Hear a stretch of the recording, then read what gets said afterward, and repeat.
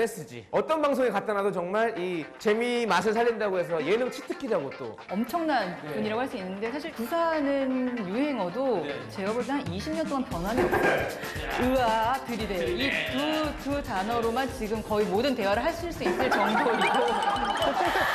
중국 어록이라고 치면은 진짜 모든 온라인 사이트를 그냥 꽉 채우고 있다라고 할 수 있는데 저는 웃겼던 게 그 거미의 노래 중에 친구라도 될 걸 그랬어라는 이 노래를 소개할 때 친구의 껌이라도 될 걸 그랬어. 이거 사실 너무 웃기고 또 톰보이 cyber lover라는 노래 소개할 때는 약간 이상한 발음의 시버 lover라는 아, 그런 저번에 심어놓고 제목이 뭐 이래 이랬던 것 같은데 그때 예. 예, 뮤지를 처음 만나서 이름을 듣고 너 어떻게 이름이 묘지냐? 너 이름 묘지냐? 엑소의 으르렁을 보고 엑소의 따르릉. 비켜나라고 어떻게 식당 가서 생선 주문하시는데 저기 늘 푸른 생선.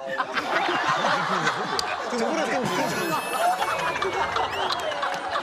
김홍 씨가 더 웃긴 거는 이제 이런 실수를 하면 좀 겸연쩍거나 아니면 좀 미안해하거나 그럴 수도 있는데 당당하시죠. 그 모습이 오히려 또 대중들에게 굉장히 좀 더 큰 웃음을 주고 있다라고도 볼 수 있고요. 김홍국 씨의 예능 치트키적인 요소를 가장 먼저 발견한 사람은요. 제가 볼 땐 김구라 씨예요.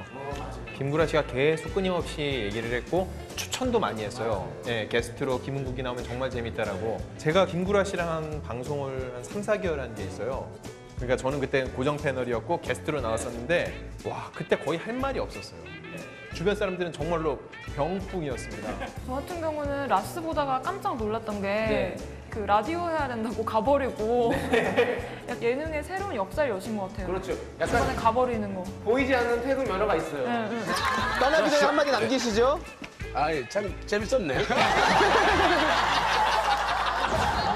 웬만한 예능의 치트키라고 하면요 무한도전의 치트키는 따로 있습니다. 양세형 씨. 빠리 빠리 양세 빠리 어좀 더 비슷하게 하네요.